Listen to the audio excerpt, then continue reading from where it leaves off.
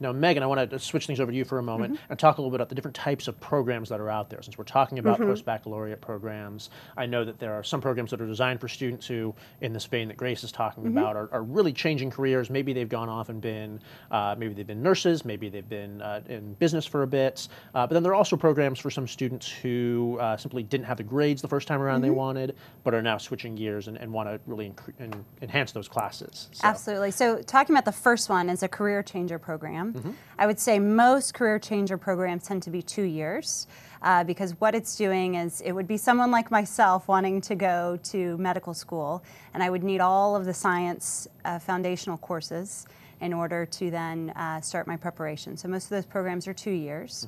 Uh, the second type of program that you identified was an academic enhancement program.